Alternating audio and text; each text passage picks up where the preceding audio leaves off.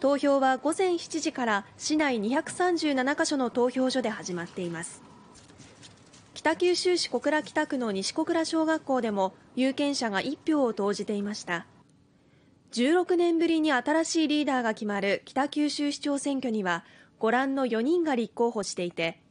北橋市政の評価や人口減少対策などが主な争点となっています。昨日までに期日前投票を済ませた人は前回の市長選挙を上回る10万9248人です。また午後2時時点での投票率は12.98%となっています。